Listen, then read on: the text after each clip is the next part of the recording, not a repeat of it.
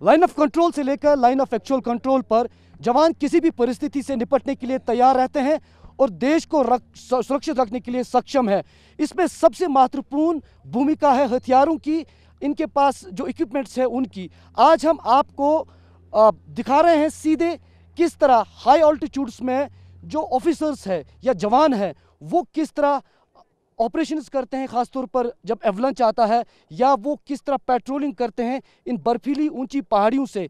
उसमें सबसे पहले जो महत्वपूर्ण है, वो है उनके पास क्या इक्विपमेंट्स है गैजेट है, और किस तरह इस ऑपरेशन में वो इन तमाम गैजेट्स के ज़रिए जो है सफलपूर्ण ऑपरेशन करते हैं।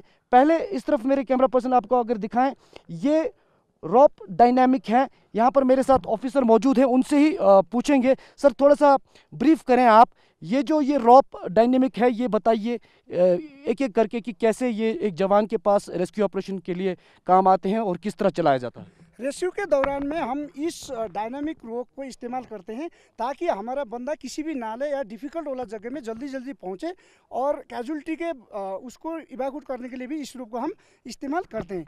अमूमन इसको बेस बनाकर हम किसी भी डिफ़िकल्ट जगह, ओवरहैंग या नाले पर हम अपने आप को बचाकर वो कैजुअलिटी तक पहुँच सकते हैं।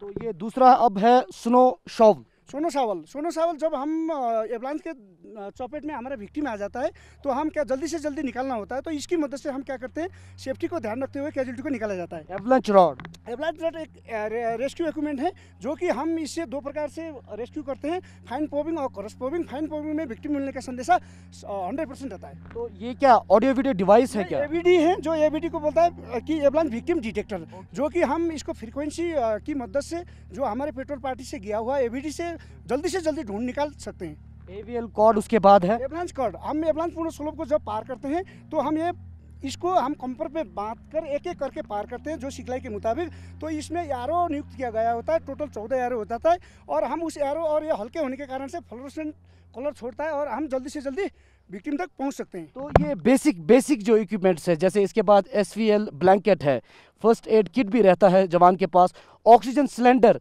थोड़ा सा ये समझाइए ऑक्सीजन सिलेंडर और गैस ब्यूटेन जो है ये कैसे इस्तेमाल किया जाता है और क्या भूमिका है? ऑक्सीजन सिलेंडर जब हमारा विक्टिम हम रिकवरी कर लेते हैं और जल्दी से जल्दी हमारा रेस्क्यू पार्टी निकल जाते हैं तो उसको सबसे ज़रूरत होता है कि उसको ऑक्सीजन की। ऑक्सीजन की रिक्वायरमेंट और थोड़ा सा बेसिक लाइफ सपोर्ट के लिए जल्दी से जल्दी हम अपने आर या मेडिकल तक पहुँचाने के लिए हम इसके ऑक्सीजन का इस्तेमाल करते हैं ताकि उसकी लाइफ बचे।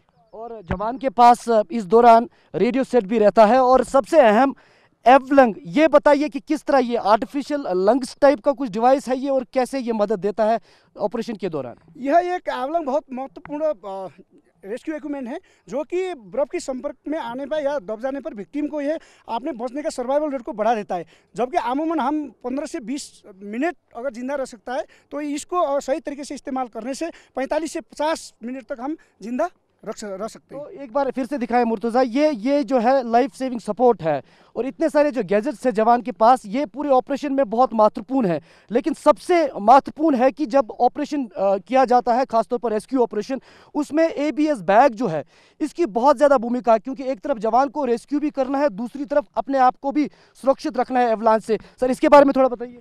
ये A B S bag air bag system bag है जो कि इसका ट्विन बैलून होता है और ये दोनों फूलने पर उसकी एवलांस की चॉपलेट में आने पर हमारे को नीचे नहीं दबेगा और हम फ्लोटिंग हो जाएँगे। इसके बेसिकली हम आमूमन क्या करते हैं कि रेस्क्यू के दौरान और एवलांस पूर्ण स्लो पार करते समय इसका इस्तेमाल किया जाता है। और ये बहुत इंपॉर्टेंट है, इसकी सर्वाइवल रेट 97 परसेंट है। तो साफ़ तौर पर एक तरफ़ कुदरत की चुनौतियाँ रहती हैं इन बर्फीली पहाड़ियों पर जवानों के लिए तो उसमें ये जो इक्विपमेंट्स है, ये बहुत ही महत्वपूर्ण एक जवान के लिए ऑपरेशन के दौरान रहते हैं, चाहे वो खासतौर पर हाई ऑल्टीट्यूड स्नो टेरन्स में हो या ग्लेशियर जैसी जगहों पे हो, क्योंकि हथियार और इक्विपमेंट्स बहुत ही महत्वपूर्ण है लाइन ऑफ़ कंट्रोल से लेकर लाइन ऑफ़ एक्चुअल कंट्रोल तक, चाहे आपको दुश्मन से निपटना हो या कुदरत की चुनौती से निपटना हो। इस बीच जो हाई ऑल्टीट्यूड वारफेयर स्कूल है गुलमर्ग में, इसकी बड़ी बहुत ज़्यादा भूमिका है, क्योंकि यहाँ पर कई ऑफिसर्स ट्रेन होकर जाते हैं और हर साल करीबन 500 के आसपास अलग अलग कोर्सेज में ऑफिसर्स को ट्रेन किया जाता है। दो अलग अलग कोर्सेज इसमें रखे गए हैं। बेसिक जो विंटर कोर्स रहता है, वो रहता है साथ ही साथ एडवांस स्किलिंग कोर्स ऑफिसर्स जवानों के लिए रहता है। इसमें पैरामिलिट्री फोर्सेस से लेकर इंडियन आर्मी के जवान और सबसे अहम बात, जो फ्रेंडली फॉरेन कंट्रीज़ के ऑफिसर्स से जवान हैं, वो भी यहाँ से ट्रेन होकर जाते हैं। यानी कि भारत के जो जवान हैं उनके साथ साथ फॉरेन कंट्रीज़ के जो जवान हैं वो भी यहाँ से आ, स्किल अपना जो है हुनर जो है हाई ऑल्टीट्यूड में कैसे चुनौती से निपटना है कैसे ऑपरेशन करना है कॉम्बैट कैसे करना है कैसे चलना है ये सब चीज़ें जो है यहाँ से ग्रूम करता है सीख कर जाता है और तभी भारत की जो आर्मी है ख़ास तौर पर वो पूरी दुनिया में जो है सब सबसे सक्षम उभरती हुई दिख रही है और ख़ास तौर पर इन कुदरती पहाड़ियों पर, जहाँ पर बर्फ़ कई फुट है और कई हज़ार फीट ऊपर चोटियों पर वो दिन रात ड्यूटी करते हैं और देश को सुरक्षित रखते हैं। कैमरा पर्सन सैद मुर्सा के साथ Irfan Qureshi, TV nine Bharatvarsh Gulmarg.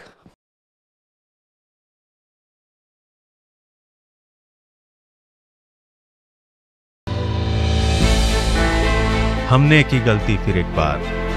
Corona ने किया दोबारा प्रहार। मास्क, दो गज दूरी। करें अपनी सुरक्षा पूरी। कोरोना टीका हम सबको लगाना है। मिलकर साथ समझदारी से कोरोना को हराना है।